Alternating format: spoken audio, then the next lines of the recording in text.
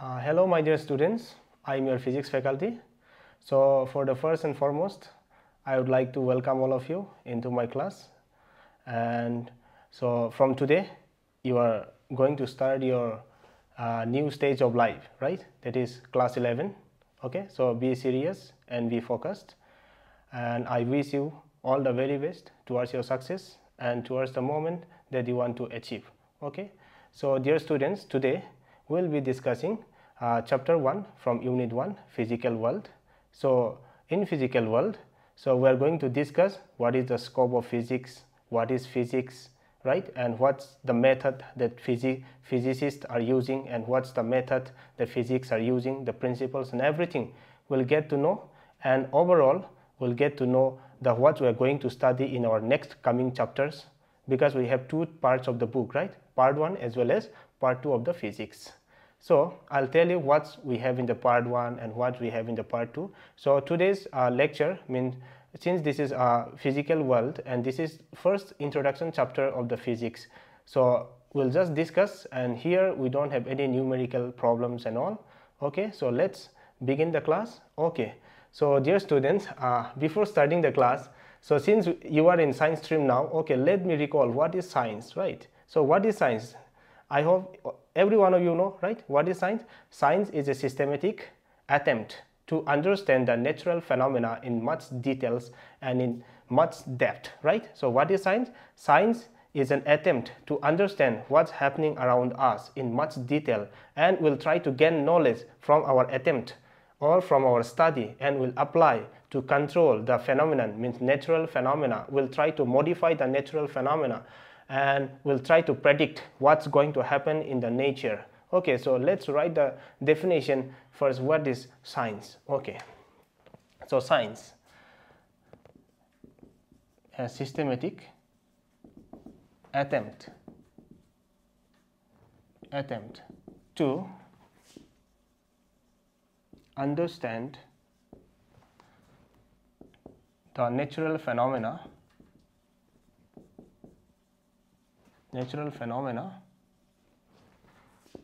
in details or you can write in much details and use the knowledge use the knowledge. So you check the spelling okay knowledge. So gained to predict comma modify and control the phenomena. Control the phenomena. Okay so this is science. It is a systematic approach by which we try to understand the nature and the natural phenomena. Okay let me tell you what is phenomena or when i say natural phenomena. So what is natural phenomena? So when i say natural phenomena is something like naturally existing process right? The process which has already existed in nature. So let me give you some examples say the repetition of day and night right? It's happening. It's not man-made thing right? It is naturally existed process. Repetition of day and night. And the earth moves around the sun and the moon moves around the earth. The whole solar system the sun the galaxy. There are so many things right? And when you see the uh, formation of rainbow, reflection of light, refraction of light and lots of things which are existed naturally and lots and lots of things are there as you can observe around you right?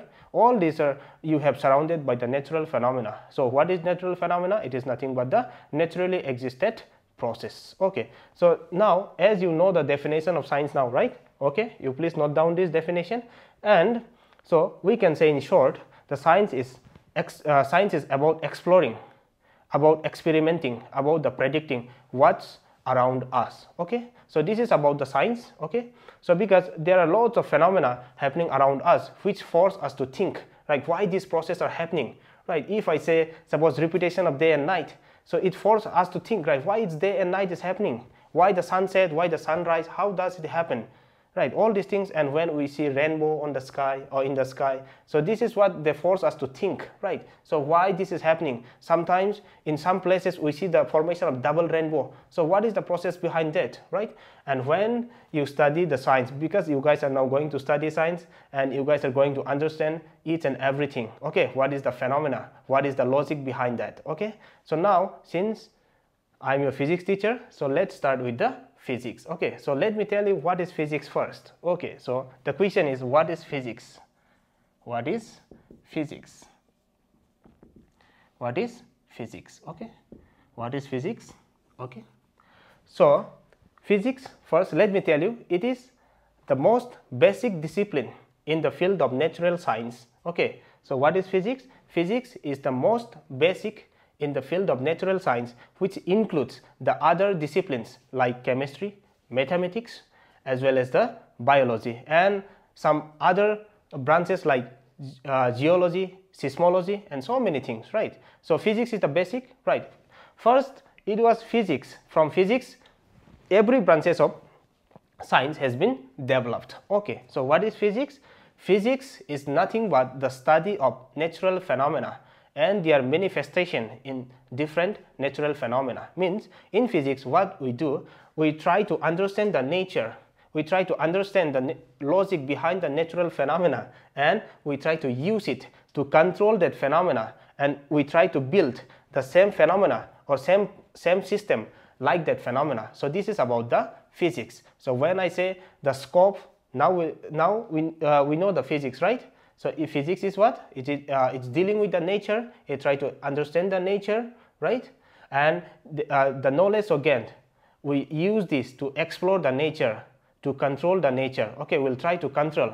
Okay, now so, uh, let's discuss what is the scope. What is the scope of physics? How big it is? How large it is? Right. So in physics, what we uh, we are going to have, and what was the physics before? Okay, let me discuss this one. So next topic is scope of physics.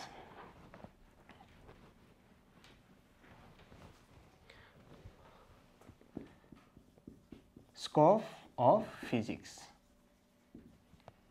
Scope of physics.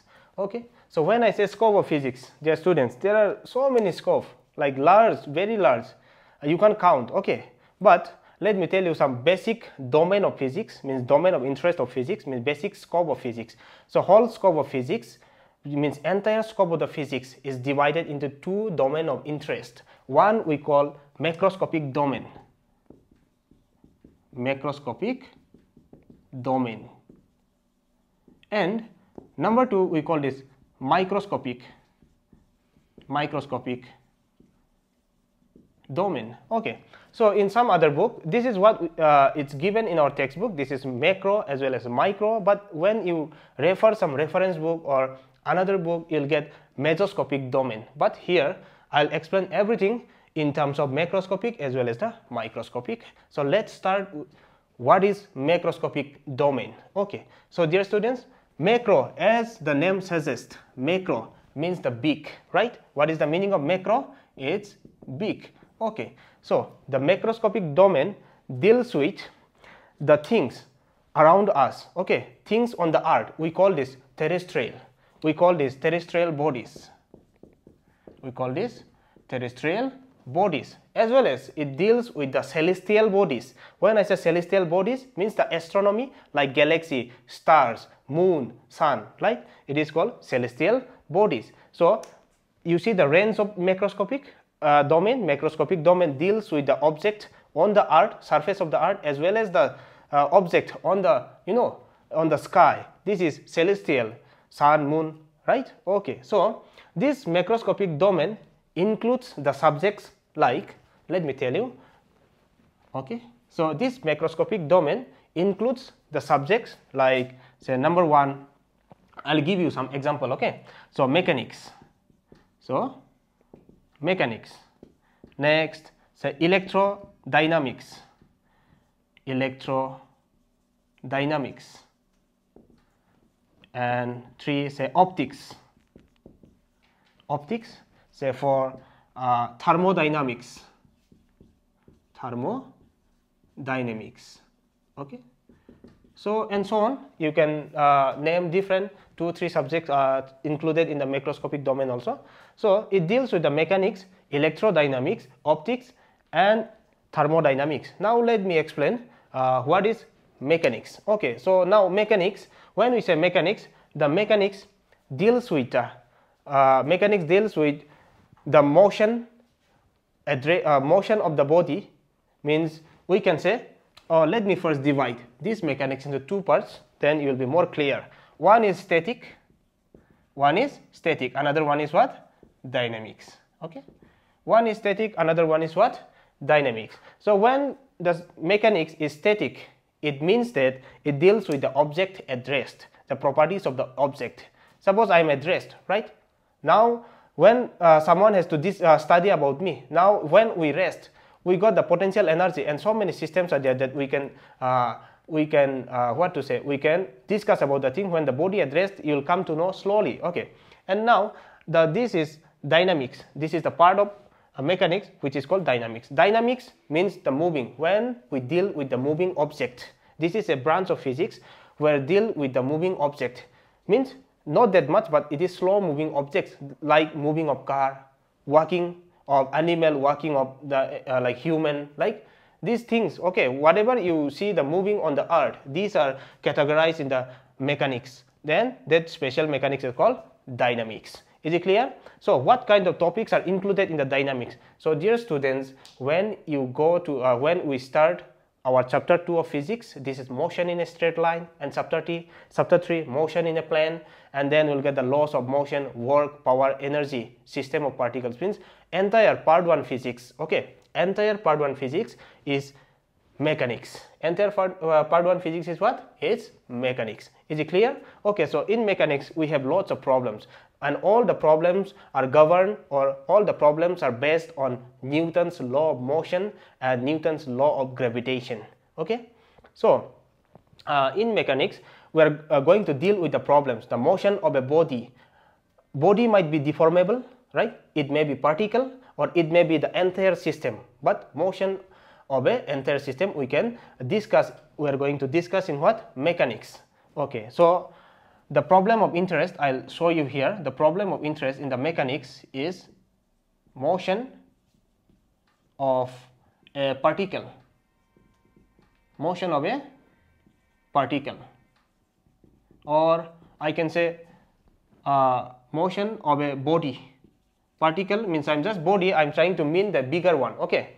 Body as well as if I say body might be if this is deformable body or it may be rigid body if I say body, there are two types of body. One is deformable, another one is rigid. So in mechanics, we study both the motion of a rigid body as well as the deformation body. Okay. And next, in mechanics, we are going to deal with the propulsion of rocket. Propulsion. Propulsion of rocket by a jet by ejecting ejecting gases okay so when I say rocket, you already know, right? So in, me uh, in mechanics part, we are going to discuss how we can launch a rocket, how we can launch a satellite, what is the principle behind the propulsion or what is the principle behind the launching a rocket? It is nothing but the newton's third law of motion that you already got in lower class. Every action has equal and opposite reaction.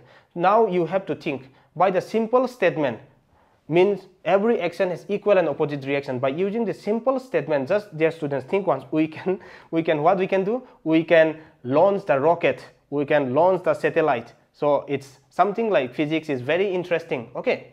So now in mechanics part we are going to again discuss the propagation of wave. When i say wave it may be water wave and i'm talking with you guys so it may be sound wave so everything we are going to discuss. Okay so this is about the mechanics and the part 1 physics is uh, included means it's only about the mechanics. Okay so dear students now next come to the electrodynamics. Okay so electrodynamics. So electrodynamics what is it is a branch of physics where we study the electric as well as magnetic phenomena associated with charge bodies as well as magnetic bodies. So, especially we will experience or we're going to study the electrodynamics uh, in class 12 okay in class 12 so here in class 11 we are not going to get this uh, electrodynamics but in class 12 we are going to study. So what kind of topics is included in electrodynamics? So let me tell you.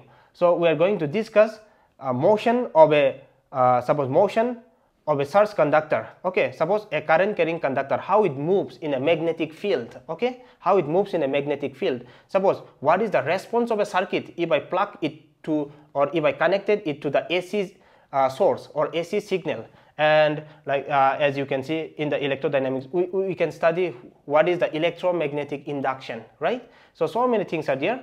And uh, as well as uh, in case of the, this electrodynamics we, we have lots of phenomena means like properties of charged bodies, properties when the charge at motion, what it happens, right? So this whole electrodynamics is based on the law of Coulomb that you already know this, right? Two charges, attraction and repulsion, right? Coulombs and Oersted. So Oersted, I think you already heard the name of the scientist Oersted.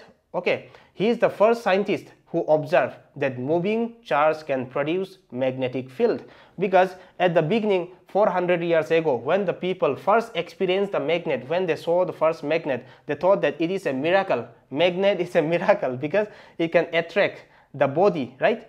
Iron object. So it, it was like miracle uh, uh, about 400 years ago. But now we can a magnet is not a miracle for us, right? We already derive the phenomenon behind the magnet, how it works. Now the people can design the artificial magnet, right? We can design artificial magnet now. Okay, so this is the, you know, this is the ability of physics.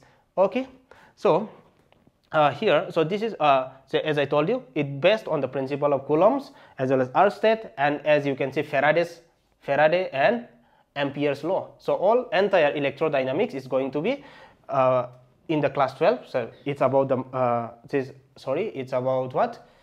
Coulomb as well as what? Ampere faraday and Oersted and whole theory was encapsulated by the maxwell in his set of equation.